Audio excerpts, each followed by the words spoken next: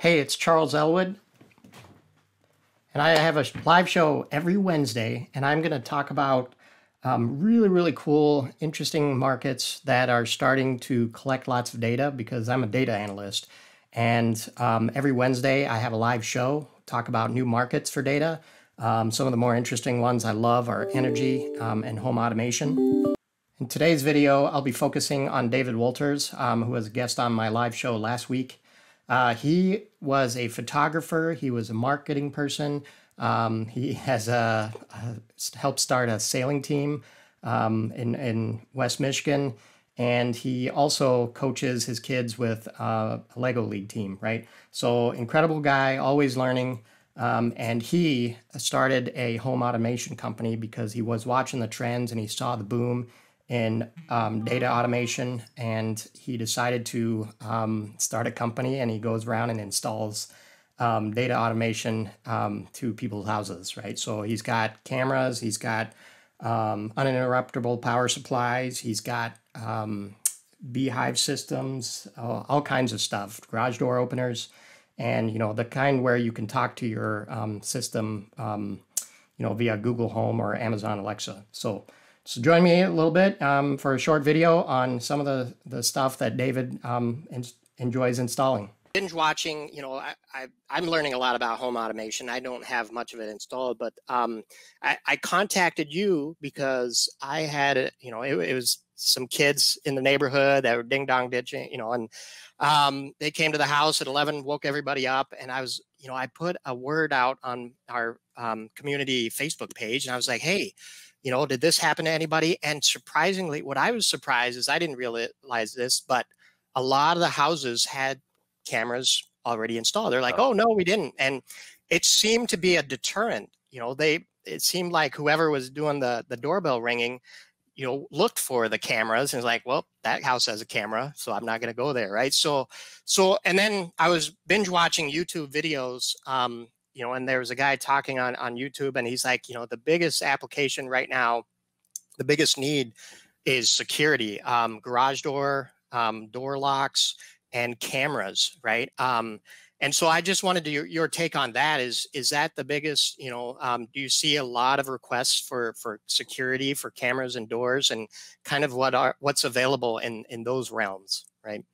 Absolutely. Um, yeah my customer who found this solar powered camera actually so it, it's a cottage up north. I'm not yep. going to disclose the location but his next door neighbor has a grow room. And uh, yep. i learned this while i was installing the camera. The neighbor came over to chat. Um, great guy but he said yeah i'm surprised that they were trying to get in in his garage because i've got a grow room right next door. I think they were con- confused on where they were trying to break into.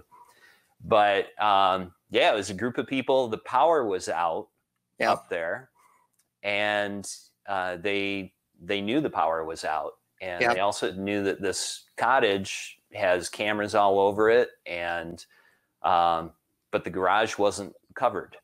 Yeah. So uh, they showed up during the power outage and tried to get into the garage. Um, it was the type of garage door opener that uh, has the screw instead oh. of the chain. So they were unable okay. to to jimmy that and get the door open. Yeah. Um, and then the neighbor heard and he came out and scared him away. Yeah. Um, but yeah, my customer called and said, "Hey, I want a camera on the garage, and I I don't want the power outage to be an issue. So I found this solar oh. one can I'm going to order it. Can you install it? Said, right. Sound, sounds great. I want to check that thing out. Right. Um, we also put uh, an uninterruptible power supply on his wired camera system as well as the the cable modem and the router.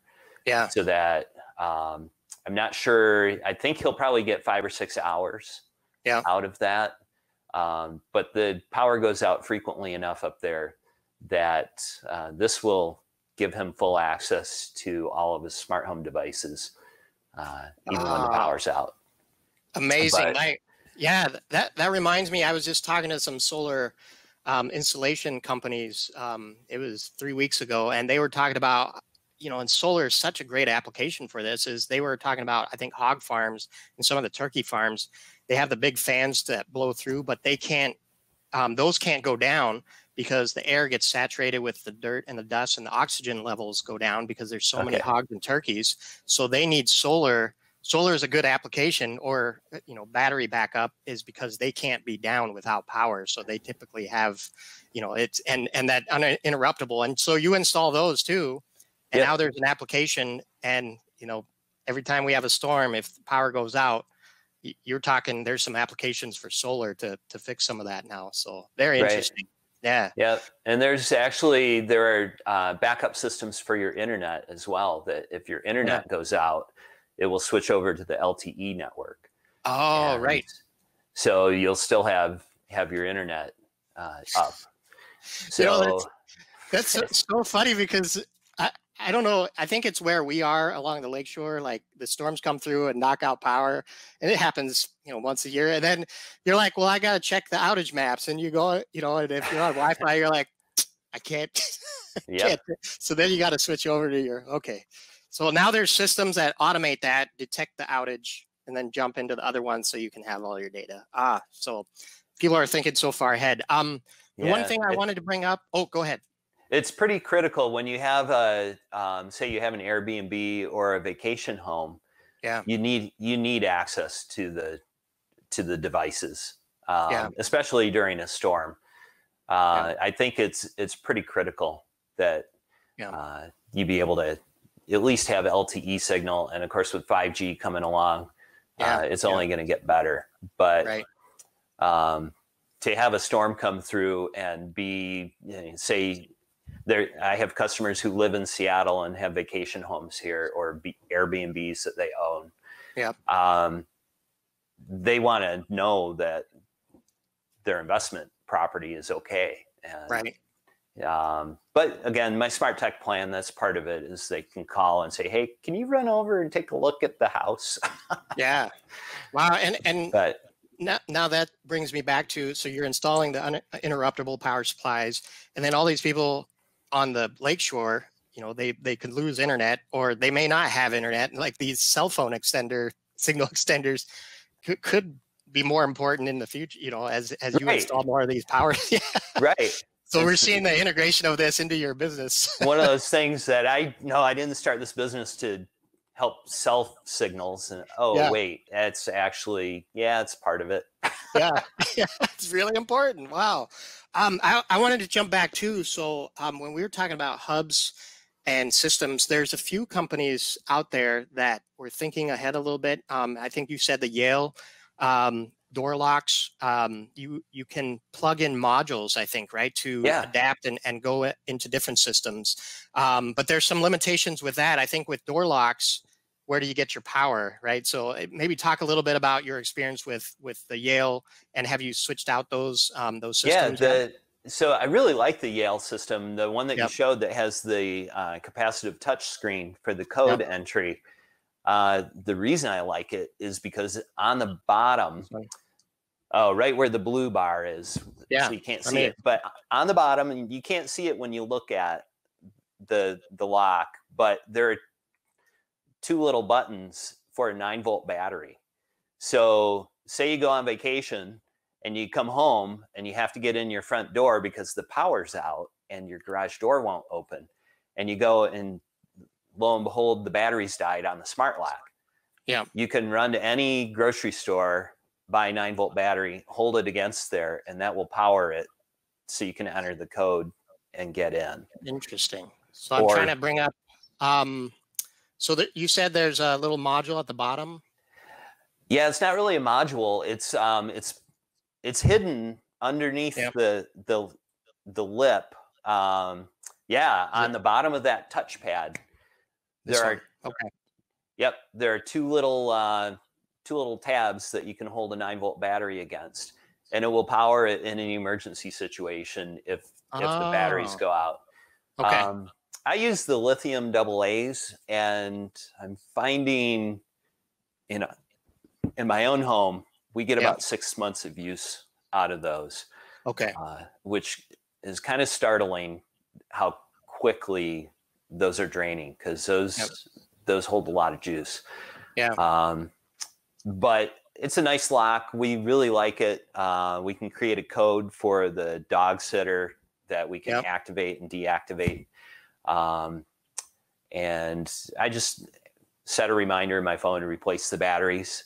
Yeah. Uh, I have a couple customers who have those. They're subscribers, so I replace their batteries when I visit. Yeah. Uh, um, that particular lock, the uh, the module that I recommend is the uh, Smart Lock by August module. Okay. Um, because it August was, I believe, if it wasn't the first smart lock on the market, it was one of the first, and it was definitely the first widely adopted. And uh, August works with it pretty much everything. So uh, you can put that August so, module in there, and the August app is really really nice. So August is is that an, like an infrastructure and a kind of a hub system or? Uh, August makes their own smart lock. Uh, at okay. this point, I'm trying to think if you if they still sell it anywhere, you'd you'd look at it and kind of laugh because it's this huge, like it's as big as a doorknob. Yeah but that's and it wasn't that long ago. It was only three or four years ago. Um, but that was where things were. Was this big thing with the motor and and August kind of set the set okay. the stage with that. So. Um, so so but now they make a, a system where you can um, yeah I, I don't know how they're if yeah. yeah. they must be licensing the the okay. technology and, and the standard to other companies. So like Yale uh, yeah. is licensing that has Yale by August okay. in it. Um, but I like it because it it integrates really nicely with every home automation platform. Okay. So Echo, Google, Hubitat, Smart Things. Uh, there's another hub called Vera that is so if you enjoyed that video, um, I'm going to do this every week. I'm going to post a short video on Tuesdays, and then on Wednesdays, I post to YouTube and I stream live on LinkedIn. Uh, if you go and subscribe, I would appreciate it because I'm at 68 subscribers now. If I get to 100, um, the cool thing is I get my own URL and I can start expanding um, and doing more of these videos. So click on the subscribe, go to the, visit my website um, on YouTube. You'll have to search right now for Solismatica. And if you hit subscribe and we get to 100, um, it'll be easy to find. Thanks. Bye.